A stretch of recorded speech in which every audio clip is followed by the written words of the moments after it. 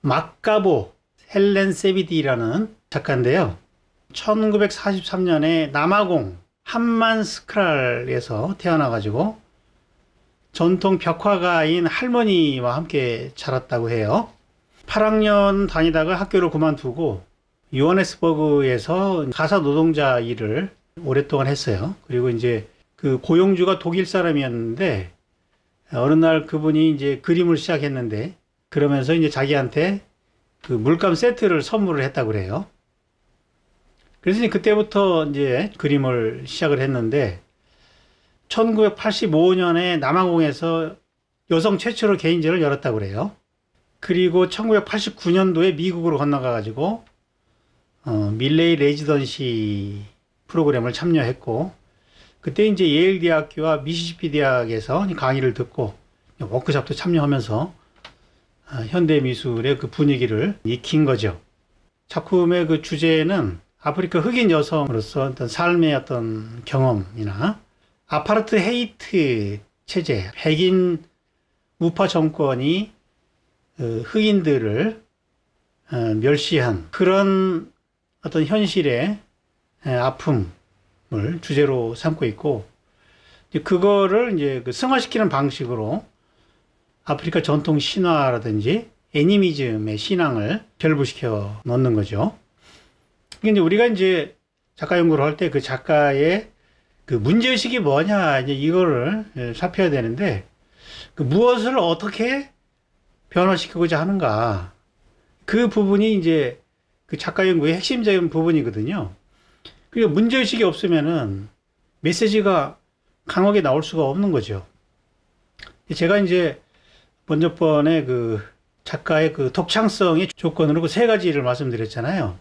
하나는 자기의 개성, 또 하나가 시대성, 이 동시대의 특성, 그리고 하나가 이제 지역성이라고 그랬는데, 이 세 가지가 어, 어느 정도 있어야 자기만의 그 독창성이 나온다. 시대성이라는 것은 이제 과거와의 차이를 낼 수 있고, 지역성이라는 것은 다른 지역과의 차이를 만들 수 있고, 개성이라는 것은 동시대 다른 작가와의 차이를 만들 수 있기 때문에 이 세 가지 요건이 갖춰져야 독창성이 나올 수 있다 말씀드렸는데 오늘 다룰 작가들은 이제 주로 이제 그 지역성 쪽에 점수를 많이 줄 수 있는 그런 작가들이 되겠어요. 그 지역만이 갖고 있는 그 문제들 이런 것들이 이제 드러나면은 그것이 이제 하나의 문제의식이 돼가지고 그거를 해소하고자 하는 노력이 의식으로 예술 작품에 들어가게 되는 거죠. 이 아파르트 헤이트라는 거는 이 남아프리카 공화국 극우 정권이 1948년에 들어서면서 유색인종을 차별하는 그런 정책입니다. 이 국민당 정권이 원래는 그 문화적인 독재성을 유지한다고 상호 존중을 기초해서 그 분리 발전을 하자 뭐 그런 취지로 했지만은 실제로는 남아공의 그 다수 민족인 그 반투족, 반투족이 그 당시 한 70% 정도를 차지하고 있는데 그런 흑인들이나 또는 혼혈족들을 배제하려는 그런 목적으로 정치적으로 이용을 한 것이고 그래서 그 인종 간의 그 결혼을 금지한다든지 또 거주 지역을 따로 이렇게 설정해 가지고 흑인들이나 어, 혼혈인들은 이제 따로 자기들이 사는 지역을 이렇게 만들게 해 가지고 인종차별을 했다는 거죠. 뭐 공공시설을 또 따로 이용하고 이렇게 되니까 흑인과 백인 사이에 갈등이 심화된 것이고 그거를 이제 해체하고자 하는 운동이 일어나는데 그게 이제 넬슨 만달라 대통령이 흑인 대통령이 처음으로 1994년 당선되면서 폐지를 시킵니다. 그래서 이제 초기 작품들을 보면은 아프리카의 눈물이라는 이런 주제로 그림을 그리게 되는 것이고 아파르트 헤이트 분리 정책에 의해 가지고 가족이 붕괴되고 정체성의 혼란을 느끼는 이런 분위기를 목탄을 이용해 가지고 그렸어요. 그 사람 얼굴을 보면은 그 흑인과 백인이 한 몸을 이루고 있는 이런 형태가 나오죠. 약간 입체파적인 그런 방식으로 흑백을 이렇게 섞어 놓는 이런 드로잉들이 많이 나오는데 이제 그런 어떤 주제의식을 담고 있는 거죠. 이것도 이제 아프리카 눈물이라는 그런 주제로 그린 작품이에요. 2016년도에 상파울로 비엔날레에 출품이 됐던 그런 작품입니다. 이런 작품들이 이제 그 왜 이런 그림을 그려야 하는가 하는 그 당위성이 분명히 드러나기 때문에 설득력이 있는 거죠. 예술이라는 거는 항상 그 고통을 장작처럼 활용해 가지고 이 불을 지피는 거기 때문에 이런 사회적인 아픔이 예술에서는 좋은 소스가 되는 거죠. 빼앗긴 자들이라는 제목의 작품입니다. 사회적인 불평등을 문제 삼고 있는 것이고 리얼리즘 쪽에 가깝겠죠. 이런 작품들은 항상 모든 예술은 관조에서 비롯돼요. 부조리함, 현실로부터 비롯된 불쾌한 감정을 관조하면서 그거를 이제 승화시키는 거거든요. 우리는 누구이며 어디로 가고 있는가라는 제목으로 그린 작품입니다. 휴머니즘적인 주제를 갖고 있고 자신의 그 혈통과 민족에 대한 관조에서부터 작품이 나오고 있고 또 이런 작품들이 이제 오늘날 시대 정신으로 보면은 타자성, 중심주의로부터 벗어나고자 하는 그런 움직임이 지금 포스트 모던의 중요한 특징으로 나타나잖아요. 거대 서사로부터 벗어나가지고 작은 이야기들을 주목한다는 거죠. 그래서 이제 이렇게 아프리카 미술이 요즘에 그 주목받는 이유는 이제 그런 흐름 때문에 그렇습니다. 그동안 그 유럽과 미국을 중심으로 하는 그런 서양 미술이 이제 지배를 해보다가 제3세계나 이제 아프리카 지역의 그런 이야기들을 지금은 이제 주목하고 있는 거거든요. 타자들의 삶, 목소리들을 주목하는 그런 흐름에서 이제 나오고 있다 이렇게 보시면 될 것 같아요.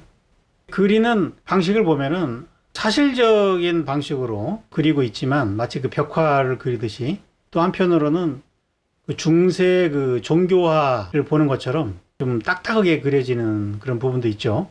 그리고 엄청 섬세하게 선을 짧게 그으면서 마치 점 찍듯이 그리고 있기 때문에 굉장히 수공예적인 특징이 있는 거죠. 밀도도 있고 임팩트가 아주 강하게 느껴집니다. 말의 영혼이라는 제목이 있는데 이런 주제들은 이제 애니미즘적인 그런 신앙에서 비롯됐다고 볼 수가 있고 원주민들이 갖고 있었던 그런 전통 신앙 체계를 담고 있는 거죠. 되게 그 애니미즘이나 토테미즘 신앙을 갖고 있는 부족들이 자신들의 뿌리가 이제 그 동물이나 식물에서부터 비롯됐다라고 그렇게 생각하기 때문에 동물을 인간보다도 더 신성하게 생각하는 그러한 경향이 있는 거죠. 좀 부분도로 좀 확대해 봤어요. 거의 뭐 신인상주의 그 쇠라나 시냐크의 그림을 보는 것처럼 거의 뭐 점을 찍듯이 아주 밀도 있게 예, 묘사를 하고 있습니다. 뭐 이분들은 뭐 테크닉 가지고 승부를 하는 게 아니기 때문에 예, 이렇게 이제 오랜 시간 정성을 들여서 점을 찍고 있는 거죠. 왼쪽 그림은 남성성이라는 제목의 작품이에요. 오른쪽은 여성을 그린 거고. 좀 아우라가 느껴지죠? 어, 작품에 그 동물들이 많이 나오죠. 특히 그 새가 많이 나오는데 이 새는 하늘과 땅을 이어주는 영물이기 때문에 영혼을 상징하는 정령 신앙이 들어가 있는 그런 작품이고 조상의 영혼으로부터 소식을 전하는 그런 메신저라고 그럽니다. 저 새가. 그리고 물고기는 이제 개인과 인격적인 관계를 맺는 스승이나 어, 전령의 역할을 한다고 그러고요. 아프리카 부족이 갖고 있었던 신화적인 내용들을 다루고 있는 거죠. 그럼으로써 이제 어떤 현실의 부조리함을 극복하고자 하는 그런 하나의 그 비전을 신화에서 찾는 건데 현대인들은 뭐 저런 신화들을 잃어버렸기 때문에 굉장히 과학적이고 상막한 삶을 산다면은 신화가 아프리카 작가들한테는 굉장히 그 좋은 하나의 그 비전이 되고 있는 거예요. 우리는 그런 신화를 잃어버린 거죠. 작가의 말입니다. 나는 두뇌를 사용하지 않고 오직 영적인 통제를 받는다. 그래서 그림이 완성이 되면은 그림이 말하고 살아 움직인다. 어떤 뭐 개념이니 뭐 그런 접근이 아니라 영적인 통제, 마치 그 샤먼처럼 정신적인 혼들과 대화를 하면서 그림을 그린다는 거죠. 그렇게 되면은 이제 그림이 혼이 실리게 되기 때문에 그림이 스스로 말하고 살아 움직이게 된다는 얘기겠죠. 이번 비엔날레에 나온 작품들인데요. 아, 이번에 나온 거는 그 1990년대 작품들, 초기 작품들이 나왔더라고요. 주로 파스텔을 이용해서 그린 작품들인데 입체주의적인 요소들이 많이 보입니다. 이 입체주의를 피카소처럼 건조하게 쓴 게 아니고 다양성을 담아내는 방식으로 사용하고 있죠. 아, 왼쪽 그림은 인생의 역경이라는 제목이고 오른쪽은 목표에 닿기. 그 인생의 역경이라는 것은 여성으로서의 겪어야 했던 어떤 그 고통을 그린 것 같고 오른쪽은 현대인들이 목표에 도달하기 위해서 어, 남을 짓밟고 동물을 학대하고 그런 인간의 만행을 풍자적으로 다루고 있어요. 자기의 어떤 내면의 생각들, 감정들 이런 것들을 그냥 진솔하게 그리려다 보니까 자연스럽게 나온 형태들이고 뭐 어떤 뭐 사조로 묶기 묶을 수는 없지만 그 어떤 진실성이나 진솔함이 느껴지죠 그림에서